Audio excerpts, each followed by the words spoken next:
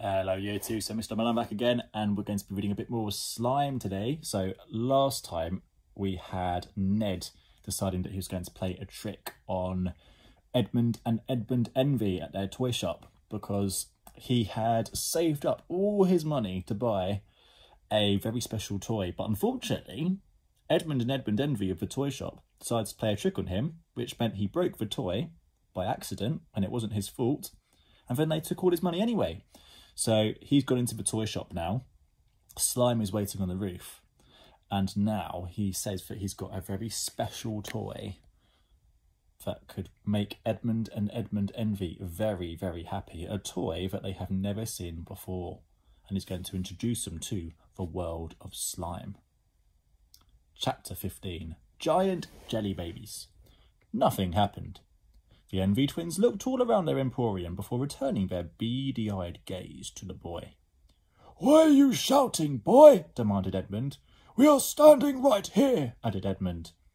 A feeling of panic washed over Ned. As Slime was all the way up on the roof, it must not have heard. There was only one thing for it. Shout louder! I said I want to introduce you both to the wonderful world of Slime, repeated Ned. Still nothing. Things were not going to plan. Slime! The boy shouted again, but nothing, nada, zilch. The Envy twins shared a look. Why, oh, why do you keep shouting slime? asked Edmund. Because if we say it loud enough, it will magically appear. Oh! Oh, indeed, agreed Ned. So let's all try together on three. One, two, three. But before they could shout, slime, slime appeared. It was gushing down the chimney and began flowing through the fireplace, all over Envy's emporium. I'm sorry I'm late, Slime called out. I was on the loo. Ned looked puzzled. He had no idea Slime had to go to the loo. What would it pass? More slime? There wasn't time to think about that. All at once the shop was awash with slime. No! shouted the pair, and this time it was Ned's turn to do the chuckling. The two men were up to their knees in the stuff. Slime whisked the boy up and placed him onto the counter. Out! bellowed Edmund at the slime. Shoo! bawled Edmund. Begone! They both screamed, but still the slime was rising and rising and rising in the shop. Now, Slime, began Ned. Yes, Ned, replied Slime, as it was now coming up to their necks. I want you to translime into a dozen little children. What? exclaimed Envies. Just a dozen, you say? asked Slime mischievously. Uh, let's make it a nice round hundred, replied the boy. No! cried the pair of twins, but there was nothing they could do. In a moment, slime began breaking up into a hundred blobs, and those blobs took the shape of children. Soon there was an army of giant jelly babies. Children! screamed Edmund. Children! Children everywhere! Now, kids, called out Ned, help yourself to any toy in the shop. No! cried Edmund, but there was no stopping them. for children of every size, shape and colour began taking the toys off the shelves until Envy's Emporium was completely empty. The Envy twins tried to stop the children by snatching toys back, but then another jelly baby will come up behind them and give them a good old whack around the head of a toy.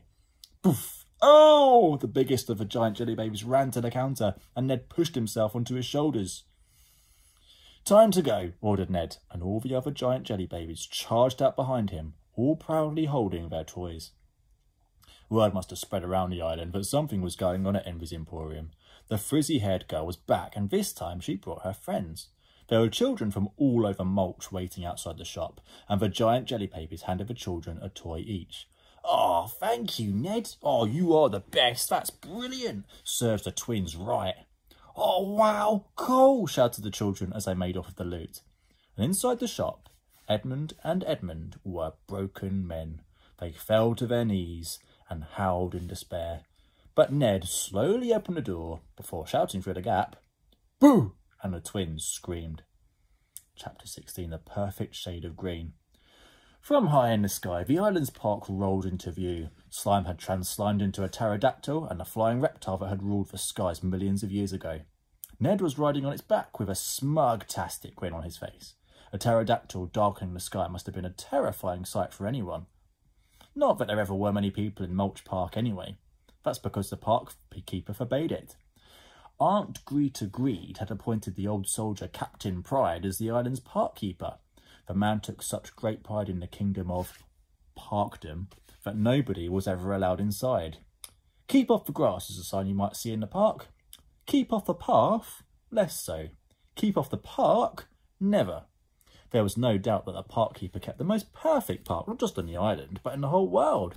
And the grass was an exact shade of green. Not too brown, but not too yellow, just green. If a blade of grass became in any way discoloured, Captain Pride would dangle himself over the lawn with his special prize, for his special prize lawnmower, and this was a piece of apparatus that Captain Pride himself, ex-member of the Queen's Guard, had invented. It consisted of a winch, a harness, and a series of ropes and pulleys. Pride's mower allowed the captain to dangle over the grass without touching it. Then he would take out his 24-piece green felt tip pen set with every shade of green imaginable, but no other colours. Then dangling just above the ground, the captain would colour in a discoloured blade of grass so it matched all the others perfectly. The park keeper was doing just what he just that when he heard the flapping of prehistoric wings overhead. Of all the things the park keeper expected to see that day, a flying reptile was not one of them. In his army years, Captain Pride had witnessed many terrifying things while serving the jungle. He had woken up to discover a python slowly digesting his right foot as he slept. Tss, been blasted in the bottom by a bazooka. Boom! And tiptoed over stepping stones to cross a river, only to discover they were actually snapping crocodiles. He stumbled across a group of gorillas who were intent on playing kiss chase with him. Yuck, yuck, yuck, and being caught in a stampede of elephants. Then marched around as flat as a pancake for weeks, looked in the mirror to shave his beard off, except on closer inspection it wasn't a beard. Ah, no, it was a great big hairy caterpillar squatting on his chin. Yanked on what he thought was a toilet chain, only to find it was in actual fact the tail of a tiger, put on his underpants, only to discover that they were crawling with cockroaches, come face to face with a hungry hippopotamus. The creature burst with such force it blew him clean over. And most horrifying of all, opened the door of the wash tent only to be greeted by the sight of the old major taking a bath. But Captain Pride had never ever seen a pterodactyl, which was understandable as they had got extinct millions of years before, let alone a pterodactyl made of slime with a boy riding on his back. What the blazes? he bawled. In shock, his 24-piece green pen set tumbled to the ground. As he tried to snatch at his precious pens, he accidentally let go of a lever on his, on his pride's mower, and the rope spun through the apparatus. And the next thing he knew, the captain found himself hoisted high into the air by his ankles. There he began swinging to and fro in a manner most unbecoming for a man of military bearing. Swish, swash, swish, swash, and his head thumped a tree. Bonk! His bottom slapped a rosebush. Then horror upon horror. The slime pterodactyl set its mighty feet down on the park's lawn, its mighty claws digging into the grass. No! Cried Captain Pride, swinging himself as hard as he could to get himself free from his apparatus. Whoosh! This he did, although not without landing upside down in a hedge. Bonk! Oof! Can't you read the sign, you dinosaur? Captain Pride hollered as he brushed bits of hedge off his blazer and smoothed down his moustache. Keep off the grass! The pterodactyl translimed back into being a blob. Ned slid off his friend onto the park bench, which had never, ever been graced with a single bottom. After all, there was a huge sign that read, Keep off the bench. What the devil is that thing, boy? demanded the captain. Where's my friend? replied Ned. I'm Slime, said Slime. It reached out a blobby hand for the captain to shake. The man's nose wrinkled in disgust. From the bench, the boy looked down under his feet at the perfectly green grass. The grass is looking especially green today, Captain Pride, he chirped. I said off! I brushed that grass only this morning, protested the captain, waving a toothbrush from his breast pocket as proof. You have another sign that says keep off the path, remarked Slime. Yes, replied the captain. Well, where oh where can we stand then? asked Slime. Absolutely anywhere you like, as long as it's outside my park. Now be gone. But the pair were in no mood to go. The two friends shared a smile. The naughtiness was about to begin. Chapter 17 The Book of Park Occurrences. My basketball rolled onto the grass that time, didn't it, Pride? announced Ned from the park bench. Captain Pride to you, the man thundered. Didn't it? Private Pride, replied Ned, enjoying winding up the proud man. Captain, I remember it well, said the park keeper. All serious incidents are noted down in my book of park occurrences. Let me look. The man pulled a little red leather bound notebook from his blazer pocket, and embossed on the cover were the words Book of Park Occurrences. Let me see, January the 1st, began Pride, leafing through the pages. Not a happy new year as at 0700 hours, highly offensive sweet trapper blows into park. Entire area sealed off until culprit who dropped said sweet trapper is found and fined. Ned looked at Slime, and Slime looked at Ned. Both rolled their eyes at each other. 14th of February. Oh, 900 hours. A pigeon does his doodahs on the newly waxed park bench. Pigeons are brought into the park shed for questioning one by one until one of them squawks. Ned and Slime sighed at this little man. Ah, yes, here it is. March the 3rd. Captain Pride was becoming animated now. Eleven hundred hours, a basketball is bounced over the wall from the nearby playing fields and lands on the grass. It bounces repeatedly, seven times to be precise, before eventually coming to a stop. One blade of grass is killed, another is seriously injured. Basketball is dealt with in an instant with military precision. I puncture it with my litter collecting spear. That basketball, Captain, was a Christmas present from my granny, said the boy sorrowfully. She sent it all the way from the Isle of Stench. It accidentally bounced over the wall. Why didn't you just throw it back when I asked you? The captain's moustache bristled. Huh, I did throw it back, he protested. Only after you'd burst it, replied the boy. I still throw it back, old boy. The captain's left eye began to twitch. Right, I want you out of my park. Now. Ned looked at Slime. All in good time. First, we need a little something for you to jot down in your park occurrences book. It is called the Book of Park Occurrences, not the Park Occurrences book, corrected the captain. Slime, continued Ned, I think we need to cause some mischief. Oh, goody, goody, agreed his friend. A thousand sweet wrappers, if you please. What the blazes? spluttered Captain Pride. Now, shouted the boy. Halt! cried Pride. The little man could make a big noise, but it was too late. Slime translimed into not a hundred, but a thousand sweet wrappers of every colour imaginable. They floated through the air, dancing on the breeze. Captain Pride ran around in circles trying to grab them, but to no avail. Ned laughed.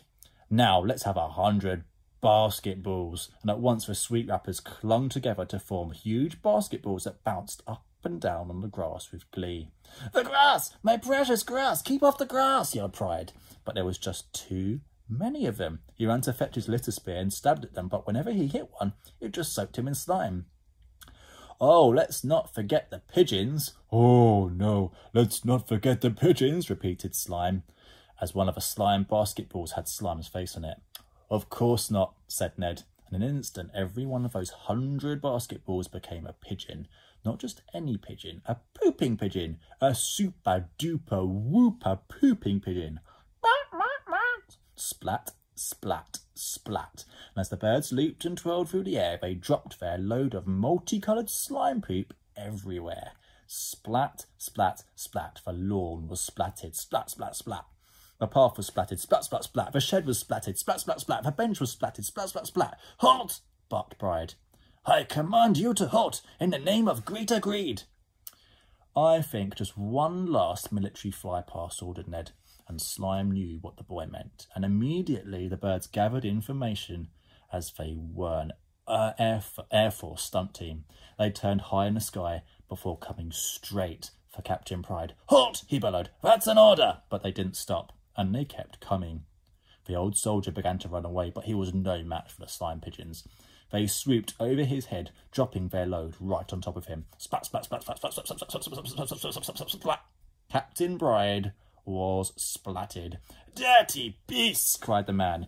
His moustache, his blazer, his slacks, his highly polished boots, every last part of him was covered in goo. Oops, remarked Ned.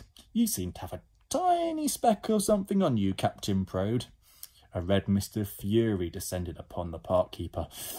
I'll get you, boy, he yelled as he charged at Ned with his litter spear. Charge! And it's not Prode, it's Pride! and just in time, the slime pigeons swooped down to Ned and whisked him up from the park bench high into the air. Another day, Captain Prode, he called out from above, and with the beast of a hundred slimy wings, the boy vanished into the clouds. Wow, I can't wait to find out what happens next. I hope you enjoyed that, guys, and I'll be back another day with some more of David Walliams' slime. So well done today, another great day of learning, and I'll talk to you very, very soon. Bye for now.